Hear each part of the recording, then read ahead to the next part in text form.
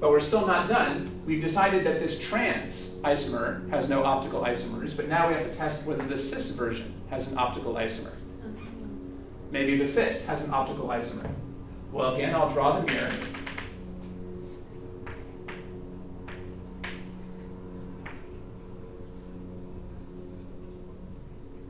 Uh, hard.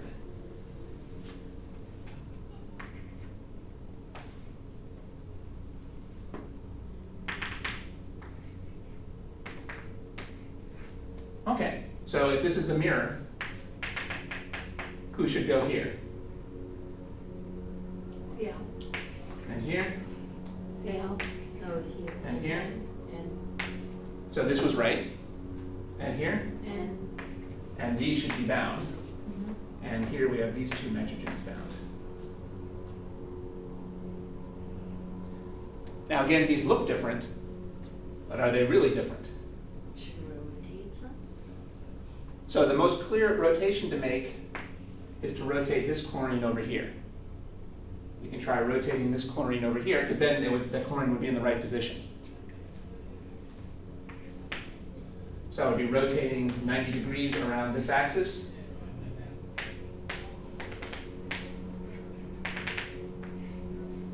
So when we do that rotation, who's going to be up here and down here? The axis isn't changing. Who will be here? CL. And how about here? N. This nitrogen rotated to here. And who's going to be here? N. Now, do you see that these two nitrogens should still be bound? Mhm. They were bound here, so they're bound here. It looks like they're much farther away here, but that's just a trick of perspective. They're still 90 degrees away from each other in both pictures. So these nitrogens are still bound to each other. And who ends up here? CL. Or N. This nitrogen got rotated up to here. And who should this nitrogen be bound to? Well, this nitrogen is bound to the bottom nitrogen. So you got to be careful about who's bound to whom.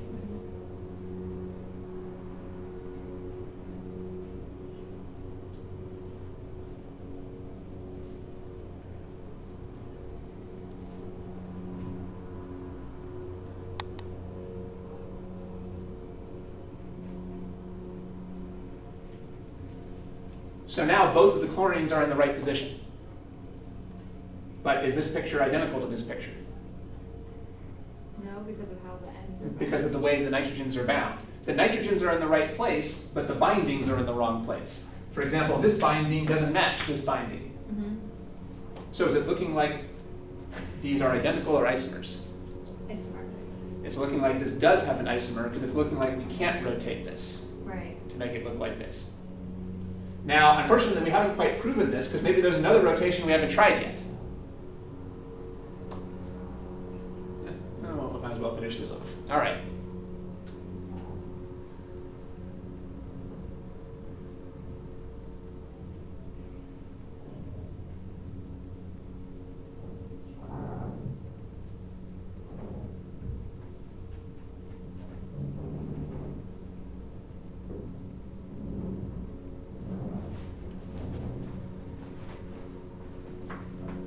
No, I'm still behind. Oh, okay.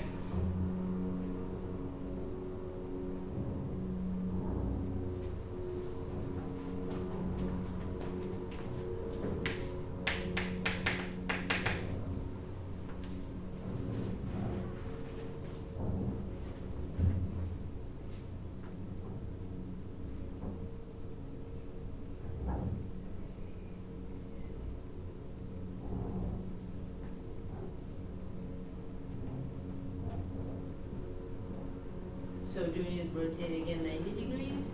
Yeah, all right. So what have we decided? We've pretty much proven that as long as this chlorine is pointing up, the pictures won't match. Mhm. We've proven that as long as this chlorine is pointing up, we can't match the pictures. Uh, I'm going to erase this picture here now.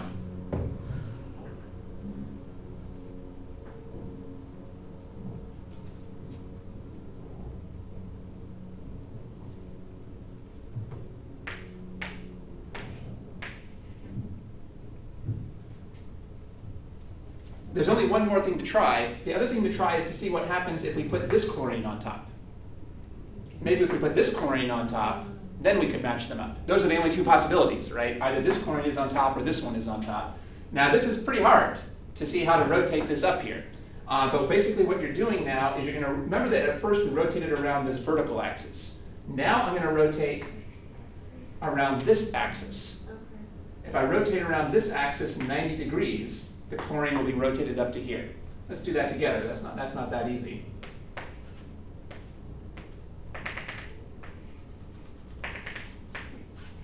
Now notice that the things that are on the axis don't move.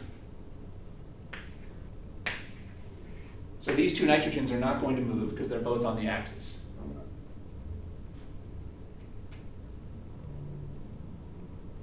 So let's do this together. We're rotating this chlorine up to here.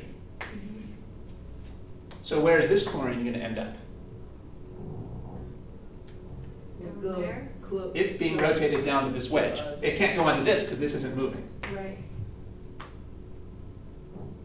And where is this nitrogen going to end up? On the button. Like- Down here? Yeah. Yeah. Yeah, it's getting rotated, this is getting rotated over to here, this is getting rotated down to here.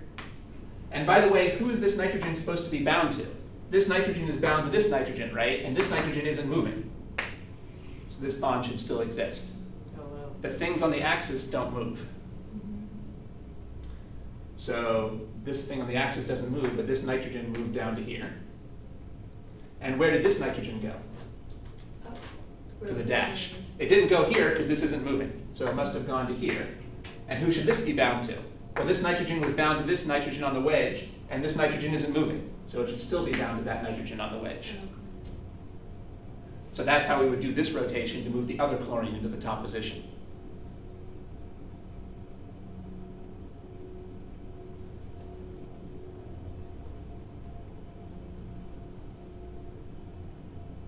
Okay? So it helps to label what axis you're rotating around. This is a much harder axis because it's going into and out of the board than the earlier axis, but that was the only way to get this chlorine on top. Now these pictures still don't look the same, but we can still try to make it a better shot by rotating this chlorine over here. Then the two chlorines would be in the right positions. So we have to do one more rotation where now I can move this chlorine over here and see if they'll match once I do this. So I'm going to rotate now this chlorine over to here.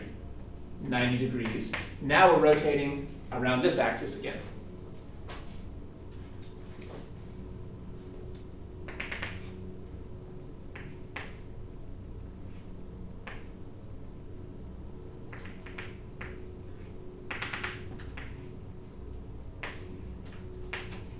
So which way will you rotate?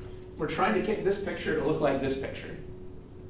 Okay. They don't look like similar yet, but we could give ourselves a better shot by moving this chlorine onto this dash. Then they would look more similar, right? So I'm going to rotate 90 degrees around this vertical axis. It's pretty easy to rotate around vertical axes. Now, if I put this chlorine over here, where is this nitrogen going to end up?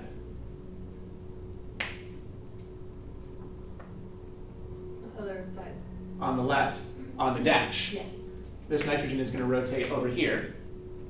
And who should that nitrogen be bound to? Well, that nitrogen was bound to the bottom nitrogen, and the bottom nitrogen isn't moving because it's on the axis. So these two should still be bound to each other. You can see why it's good not to write out the full structure for ethylene diamine here, because it would take too long to write that out each time. This make sense so far? Yeah.